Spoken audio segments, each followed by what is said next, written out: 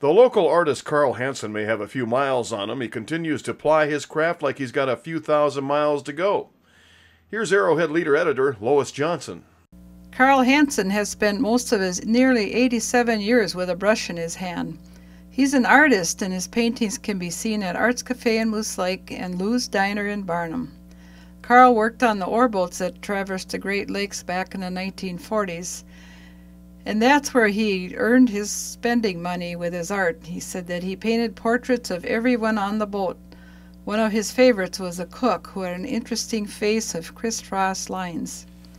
One time we spent five days in dry dock in Toledo, Carl told me when I spent a couple of hours listening to him reminisce.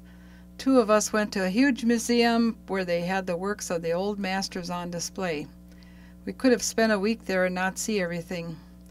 In 1959, Carl signed up for a three year correspondence course. He had 10 assignments to complete. He still has several of the paintings that he submitted for critique, like the one of the Split Rock Lighthouse, and another of himself dressed in a red jacket, pants, and cap, posed next to a nice 10 point buck that he had shot while he was hunting. Carl was one of the area's sign painters for many years and his artistry extended to the sides of pickups and vans, both with lettering and with renditions of designs that people requested. Carl is also a gunsmith. He has carved intricate designs on the gun stocks, and he has a few pistols that he made from spare parts. Unfortunately, Carl has had to discontinue gunsmithing.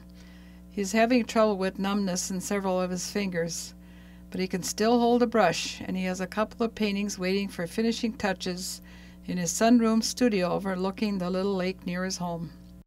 And Lois will have a more complete story on Carl Hanson in an upcoming edition of the Arrowhead Leader. For the Moosetown Crier, I'm Paul Staab.